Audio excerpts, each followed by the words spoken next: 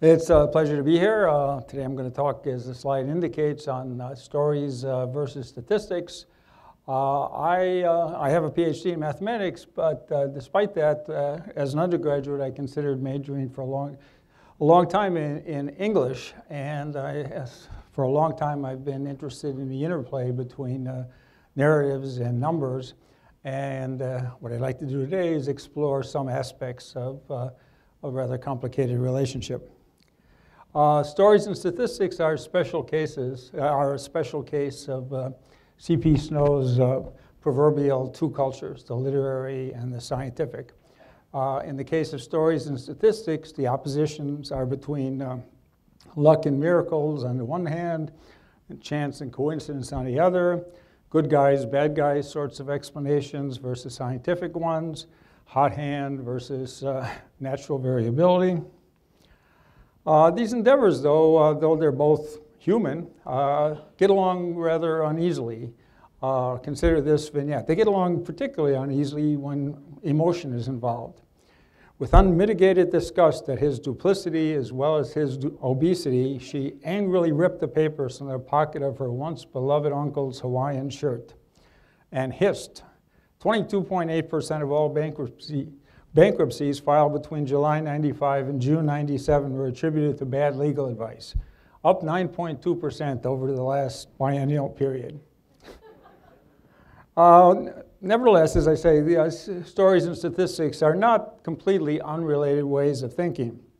The formal notions of mean, median, mode, and other basic ideas we study in uh, elementary statistics uh, grew out of everyday words in English or other natural languages. Uh, words such as uh, nondescript, medium, so-so, middling, ordinary, conventional, and so on. So uh, the technical words are refinements, formalizations of everyday words. Uh, same thing holds uh, for the informal precursors of, word, of notions like variance, standard deviation, and so on. Words like singular, different, strange, unique, even far out. Uh, you can think of as being far out in a distribution. Uh, probability itself um, has uh, everyday analogs uh, that uh, we're all familiar with. Um, chance, gods, fate, odds, likelihood, and uh, so on.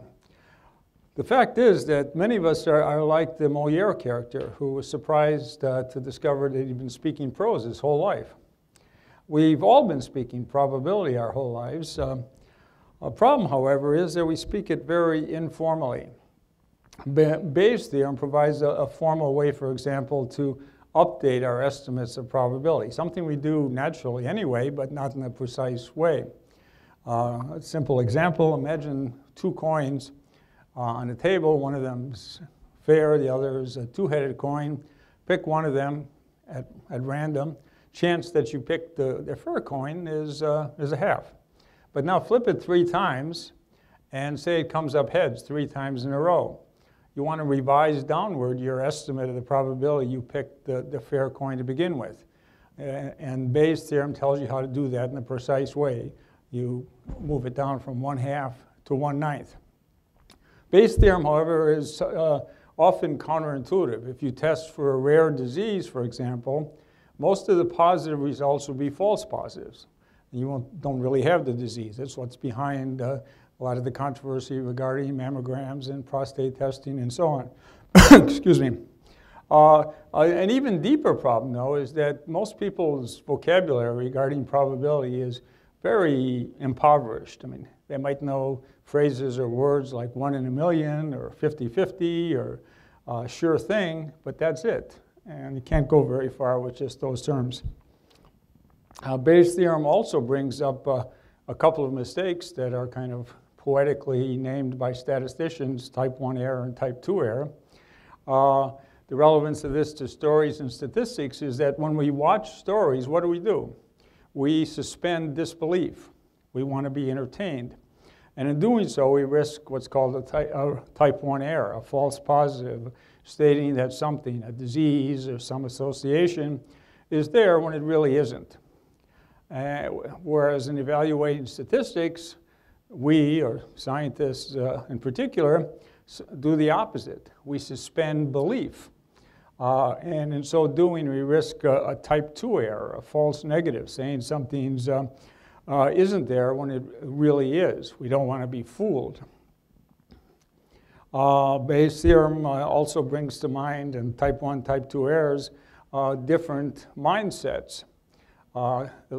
Uh, cautious scientists, at least in stereotypes of such, uh, who dislike false positives, saying something's uh, there when it isn't, predict maybe three out of five crises. I'm just making up that number. Whereas alarmist storytellers, uh, fantasy storytellers, who dislike false negatives, saying something's not there when it might be there, predict nine out of five crises. Uh, the distinction isn't unrelated to that between uh, people who view numbers as actually providing information and those who view numbers as just providing decoration. Put a number here, statistic there, jargon here. In between uh, stories and statistics lies uh, journalism, and it ideally provides a, a, context for stories. And to the journalist's litany of uh, standard questions who, what, when, where, why, think we should add how many, how likely, excuse me, I have a cold, what's the rate, is it increasing, decreasing? We should also inquire as to the origin of numbers.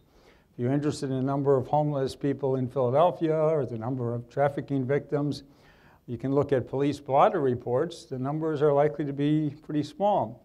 You can look at academic studies, and the numbers are likely to be somewhat higher. You can look at uh, the press releases of, uh, of groups that have uh, an ide ideological axe to grind, and the numbers would be higher still, or very low, depending on the, on the ideology. But unless we know where the numbers come from and certain basic statistical facts, the size of the sample, confidence intervals, and so on, we don't know how to evaluate them. And note at the bottom of the screen is some totally made up etymology about the word context. It equals the, the French word for story and xt, the two most common variables in mathematics. um, stories are often undermined by, even though they provide uh, context for statistics, they're often undermined by the statistics they contain. I teach a course in quantitative literacy here at Temple, and I often just make up headlines and put them on a quiz, and I ask students to, re to respond. So for example, in that second one there, experts fear total housing costs, the sum of rent and mortgages in 2012 may top $3 billion. And students talk about the housing crisis and bubbles and greedy bankers, and relatively few of them, not just students, but people in general, relatively few of them will key in on $3 billion. 3 billion divided by 300 million is $10 a year per person in this country, which is, you know, nobody has that kind of housing uh, cost. uh, a more serious story um, involves uh, the election last year, Nate Silver's polls, you know, amalgamating a variety of polls, weighing them, and so on, uh, proved much more accurate than the phony narratives that uh, uh different groups and campaigns put out. Still, uh, we need more than, than numbers and math because the data don't always speak for themselves. They, they often depend on dubious assumptions, they're theory laden, and so on. Even a very simple idea, question. Does a particular person have a particular trait? Even that is difficult to say. Do you describe them as coming from country X, uh, where 60% of the people have this trait? If you do, you might think that's the likelihood that Waldo, in this case, has the trait. Or do you describe them as coming from region R, where 40% do, or ethnic group G, where 80 or 90% do? So what descriptions we employ in, in describing uh, Waldo depend to a large extent on us and, and often say more about us than they do about Waldo here. uh, we, what we have to do, of course, is avoid an exclusive emphasis on either one. We can't have an exclusive emphasis on numbers, uh, else we uh, might run afoul, run afoul of this paraphrase of Coleridge, data, data everywhere, not a thought to think. And that unfortunately is too often the case. Uh, if we have an exclusive emphasis on stories, on the other hand, we are often just left with a hodgepodge of anecdotes, impressions, hunches, uh, with which we can't do much of anything. Uh, an even deeper difference between stories and statistics is that their logics are different. Mathematical logic is extensional. I'll, I'll skip the definition, but one consequence of it is that you can always substitute equals for equals and, and, with, and preserve truth. 4 plus 3 equals 4 plus the square root of 9 equals 4 plus the uh, largest integer less than pi. If a statement is true one place, it's true when you substitute something equivalent for 3. But that's not always true in narrative logic. Uh, Lois, Lois Lane knows that Superman can fly, and even though Superman equals Clark Kent, she doesn't know Clark Kent can fly. Uh, same thing, if, uh, if your wedding day just happens to be the same day as Millard Fillmore's 198th birthday, you'd seem kind of silly running around saying, ah, the happiest day of my life was Millard Fillmore's 198th birthday. Um, unlike mathematical logic, which is precise, you have axioms, you have rules of inference, the meanings of terms stays the same. Intensional, or with an S that is, or narrative logic is a poorly understood uh, collection of disciplines and subdisciplines, uh, uh, situation semantics, action theory, everyday folk psychology, and so on.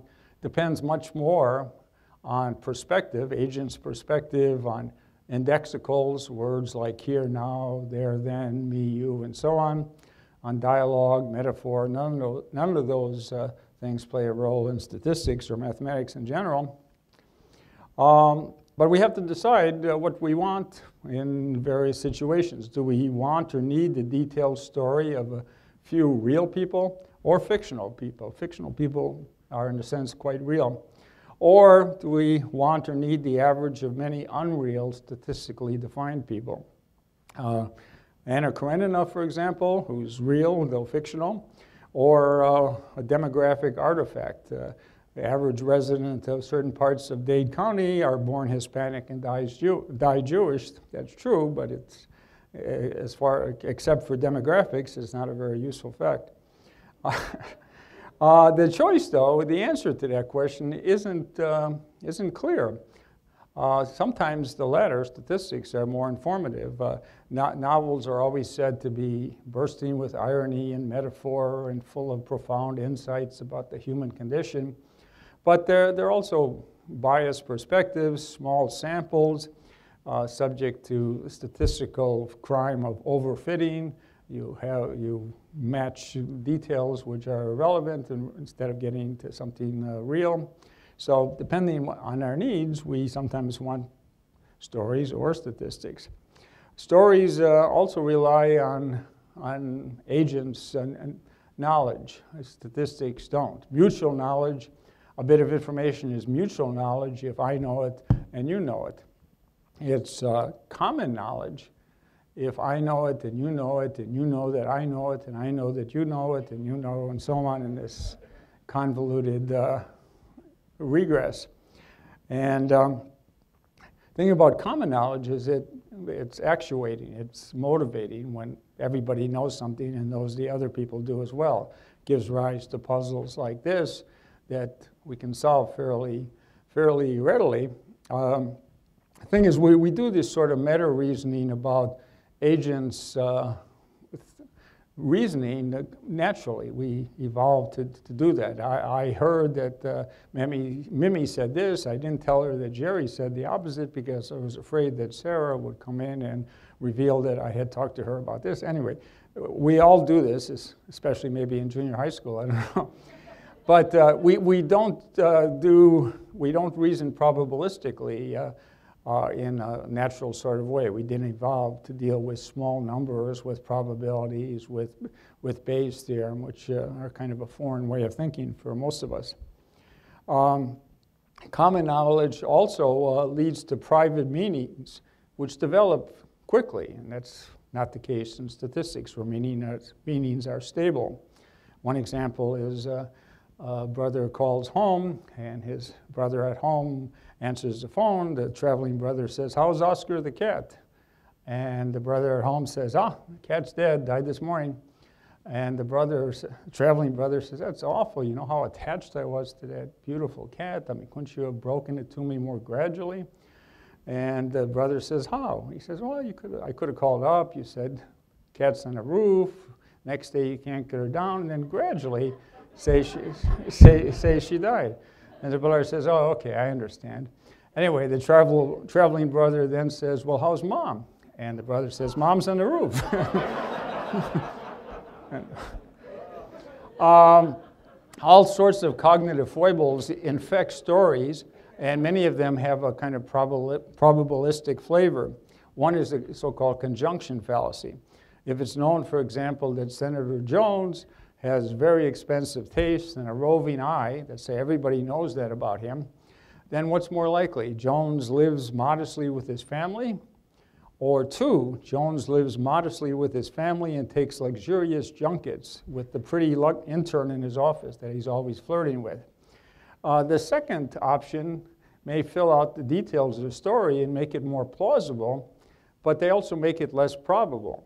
And there's often this inverse relation between probability and plausibility. The more details you add to a story, often the more plausible you make it, but it becomes less probable. The reason is the probability of of several events is always going to be less than the probability of any particular one of them.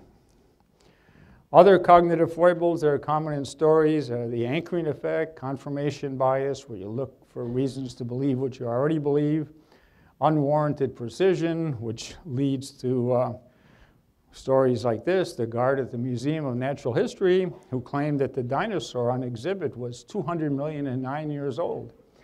And when pressed one day by a patron how he knew that, and he says, Well, they told me the dinosaur was 200 million years old when they hired me nine years ago. uh, coincidences in stories uh, play a different role than they do in, in everyday life as well. Um, in stories, they're, they're usually rare and, and significant, they, they mark turning points. Whereas in real life, they're ubiquitous, they're everywhere you look and most of the time they don't mean anything. Uh, often people come up to me and ask me, what's the probability of, of this or that event or sequence of events? And the answer is usually tiny or minuscule, but it's not the right question. The right question is usually, what's the probability of something of this general sort occurring? And that's generally quite high. Uh, the most amazing coincidence of all would be the complete absence of all coincidences. It's hard to imagine a universe where there wouldn't be coincidences. They're very easy to generate. Uh, consider the first letters of the planets January, February, March, April, and so on. You have July, August, September, October, November, and December. Jason pops out. Or the first letters of the planets in order of their distance from the sun Mercury, Venus, Earth, and so on. Saturn, Uranus, Neptune. Word sun pops out. I just put in P there for old time's sake. It's it's been demoted. But uh, uh, is this significant? Of course not. Um, the bottom line is there's, there remains a chasm, and perhaps always will be one, between stories and, and statistics. But nevertheless, it's worth building bridges across this chasm whenever possible, and that's one thing I've tried to do in my writings. Uh, let me end up with a, a, story about statisticians. You may have heard. Three of them go duck hunting. First of them take, the first of them takes a shot at the duck and it goes about six inches over the duck. The second one takes a shot at the duck and hits about six inches in front of them. Whereupon the third statistician jumps up and down excitedly. We got him, we got him. anyway, thanks much.